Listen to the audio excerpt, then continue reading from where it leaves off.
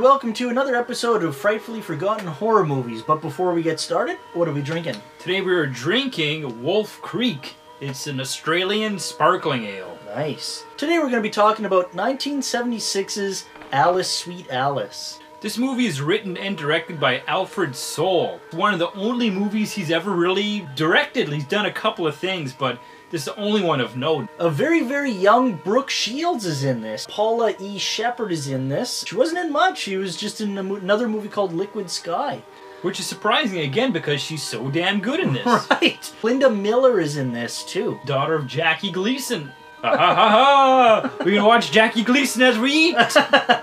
Alice Sweet Alice starts off. There's a family, a kind of a broken family because dad has left. The mother and two daughters, Alice and Karen. Karen's first communion is coming up and she's getting all the attention. Alice feels left out. She's Yeah. jealous and she starts kind of acting out a bit. Scares the living shit out of her little sister Karen in this abandoned warehouse. She's got the mask on. Which is scary enough. Yeah, and then she takes off the mask, and there's like another mask underneath this kind of old woman mask. That's even scarier. Yeah. Like, whoa. Takes Karen and locks her in this room and like won't let her out. And it's the day of Karen's communion. We see Karen being strangled in the church by a person wearing the same yellow raincoat and translucent mask. Kills Karen and puts her in this kind of storage bench unit, rips off a crucifix she just got for her first communion, and then sets the corpse on fire. Alice enters the church and she's wearing Karen's veil that she specially got for this. She goes up to receive communion, and just as she's about to get it, Yeah. your typical nun in these movies, old nun. Uh, the estranged dad flies in for the funeral. At the funeral, we're introduced to Alice's aunt, who is a major bitch, like just as much as Alice is. After the funeral, they're gathered and they're kind of having their cake. Do you really need that drink? yeah. Alice's mom tells Alice to bring some leftover cake down to their landlord, Mr. Alfonso. Disgusting slob with all these stains all over his pants. and Piss everything. Yeah, all these stains. Piss stains. Brought some cake for you, fatty. Takes some of the cake off the off her finger, licks it a little sexually, right? Right. So it's okay. What's going on here? Alice and the aunt just are not getting along. Everybody's pointing the finger at Alice, right? Because she's maybe a little odd. The dad doesn't believe it, so he kind of wants to do a little bit of investigating on his own. He's called into the the detective's office and he they start grilling him about his daughter and he's kind of like, "Well, I don't like where this is going." Her mother gets Alice to go up to Mr. Alfonso's apartment to pay the damn rent.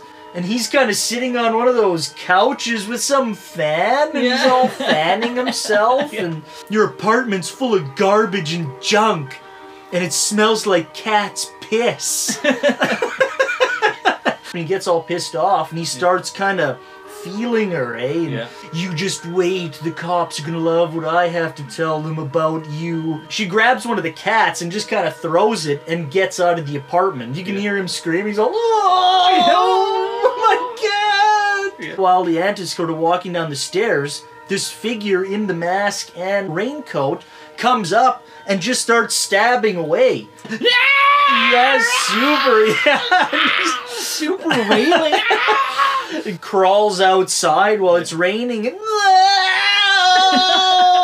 she's screaming the whole time that it was it's Alice it was Alice the parents have finally got Alice into like to see a psychiatrist Alice has started menstruating right? So she's maturing she's becoming a woman but she didn't tell anybody. but she's never told anybody so the dad gets a phone call It's like a little girl Mhm. crying. I have your daughter's necklace. Meet me at this warehouse. Weird. Yeah, it's really creepy. So he's making his way up the stairs, and all of a sudden, ding! Somebody comes over the banister and stabs him in the arm, and he kind of fights the person off. Hits him in the head with like a brick, and he goes fucking down, and he's out. When he comes to, he's all wrapped up. Starts slowly rolling him towards the opening. There's only a straight drop down. Yeah. The person has that cross, that necklace. and he grabs the cross with his teeth and starts beating him in the fucking teeth. when he can't with the defend himself. Yeah. and just before the last roll, the killer reveals herself. That's where we're gonna end it. We're not gonna tell you who the killer is. It is a fantastic movie. Just chocked full of all these neat themes. Everything is done so smart and Oh. well. For most people, uh, religious people, church is a place of comfort. You know, Mm. you go there and you feel safe, and you know, God is there or whatever. But in these horror movies, they use like, you know, it's an image of Mother Mary or whatever, and it's frightening. Like- While somebody is getting killed. like sh- this should not be frightening, right. but it is. It's the context in which it's used, right? So the movie touches on, like you said, tons of themes. coming of age. She's like reaching puberty. She's changing. She feels invisible, right? Mm-hmm. So she's acting out. She's acting like a bitch, so people know that she exists. She wants attention. She Yeah. wants to be accepted. Right? Yeah, And yeah, everybody just keeps taking everybody else's side, not Yeah. hers. and she wants the right type of attention because Mhm. the attention that she gets in the movie uh, by mostly men is not the right kind of attention. Mhm. Like Alfonso groping her and in that asshole cop. Oh, well, did you see her tits? well, she's just asking for it. Yeah. Like, no, that's not the type of attention a little girl wants, right? the movie also touches on, I think, the corruption of religion, right? Yeah. The ideals of religion, how they're supposed to be so, you know, innocent and they're supposed to uplift people. Well, that's not exactly what happens in this movie. Yeah. It has the opposite effect. But that is also what does happen in real life. This killer has taken Yeah. these ideals and twisted them into their own weird morality. The theme of what- makes a family a family. Mhm. Because in this movie, it's like a broken family. We have, you know, the father is kind of, he's moved away and he's got a different wife, and she's left with the kids by herself, and she's kind of looked up down upon a little bit because, well, she doesn't have the perfect family. But it's also realistic because families like that exist. Exactly. Yeah. Nobody's perfect, right? Acting in this Yeah. is fucking great. Yeah. You wouldn't think that they would be for the quality, the film quality, Yeah. right?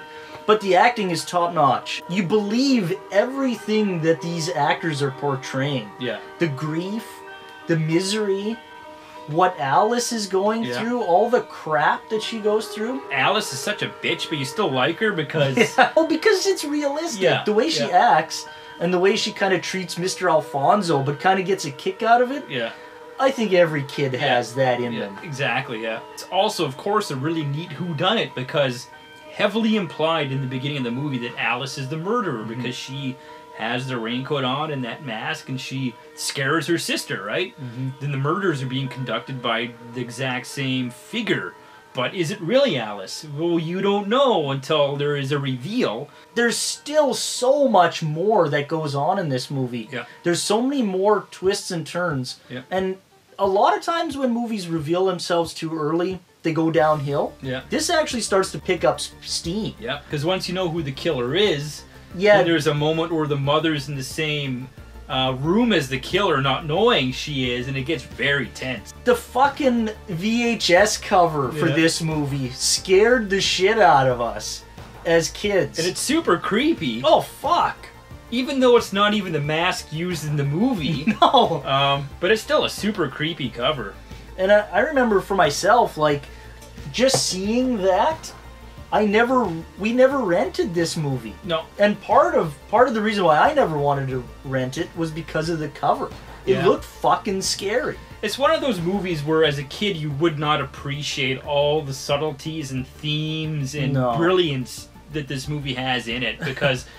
You know, let's face it, you don't want that as a kid. You just want to be entertained. You don't want to be thinking about it when it's over. What did all that mean? Yeah, You know? you're not as a five year old Yeah. kid. You're not gonna think about all that shit. So yeah, if you want uh, like a really good, smart horror movie that's got like a lot of themes, and you can like finish watching the movie and go to bed thinking about all what you know, what does all that mean? You know, there's Yeah. like there's so much there. You have to check out Alice Sweet Alice. It's such an underrated gem. Deserves its place in the annals of horror history. Definitely, definitely. So check out Alice Sweet Alice, and until next time, Keep drinking.